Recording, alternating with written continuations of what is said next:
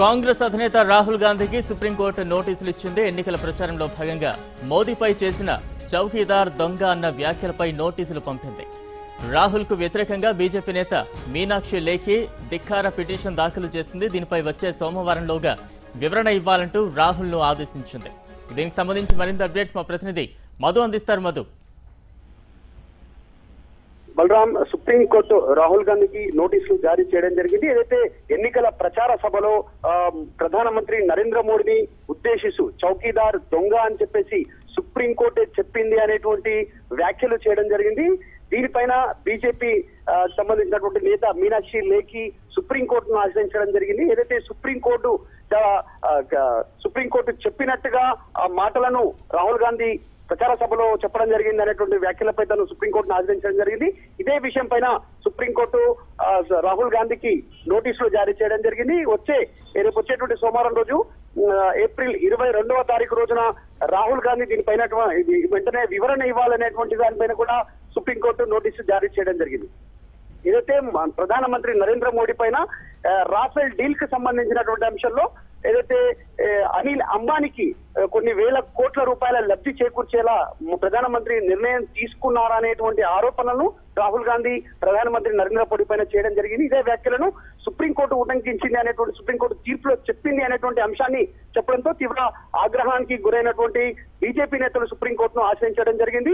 ఇదే విషయం పైన కనుక మరొకసారి ఇలాంటి వ్యాఖ్యలే కనుక చేస్తే చట్టపరమైనటువంటి చర్యలు తీసుకోవాల్సి వస్తుందిగా కూడా బీజేపీ నేతలు ఎన్నోసార్లు రాహుల్ గాంధీకి చెప్పినప్పటికీ కూడా తను ఇదే అంశాన్ని పదే పదే రాహుల్ గాంధీని మోడీని ప్రధాని ప్రధాని మోడీని టార్గెట్ చేసుకుంటూ చౌకీదార్ చోర్ కాపలాదారుడే దొంగ అనేటువంటి వ్యాఖ్యలను చేస్తా ఉండడంతో బీజేపీ నేతలు సుప్రీంకోర్టును ఆశ్రయించడం జరిగింది. దీనిపైన ఇరవై రెండవ తారీఖున రాహుల్ గాంధీ వివరణ కోరుతూ సుప్రీంకోర్టు చెప్పడం జరిగింది. Balaram.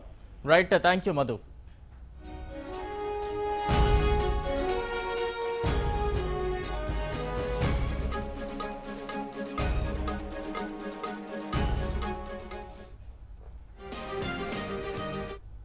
supreme court के नाम पर जो राहुल गांधी ने इस्तेमाल किया है, वो सुप्रीम कोर्ट ने कभी कहा ही नहीं, ये क्लैरिफाई कर दिया।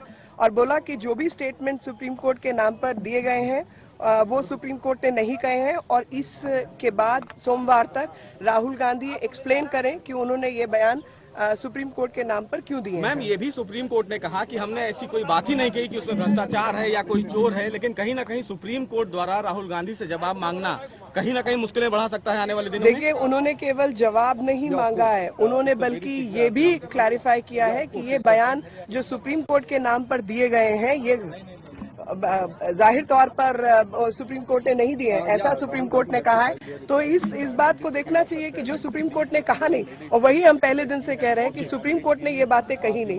सुप्रीम कोर्ट के सामने एक अलग मैटर था जिसके अंदर ये कागज़ एडमिट हो सकते या नहीं जो कि अटर्नी ने ऑब्जेक्ट किया था कि ये नहीं एडमिट हो सकते। उसके ऊपर उन्होंने ऑर्डर किया था कि नहीं चलो एडमिट करते हैं देखते हैं कोर्ट का जुरिस्डिक्शन है। उस बात को घुमाते हुए इन्होंने कहा कि सुप्रीम कोर्ट ने कहा है चौकीदार चोर है। सुप्रीम कोर्ट ने कहा है वो तीस हज़ार करोड़ इसको दिया, उसको दिया, इस तरीके की बातें जो कि सुप्रीम कोर्ट ने कभी ये बातें नहीं कही है। तो जो झूठे बयान राहुल गांधी मीडिया के आगे और जनता के बीच में दे रहे हैं, वो बयान में अपने तरफ़ की बातें जो है, वो सुप्रीम कोर्ट का नाम इस्तेमाल करे, जो कि गैर कानूनी है और इसीलिए कंटेम्प्ट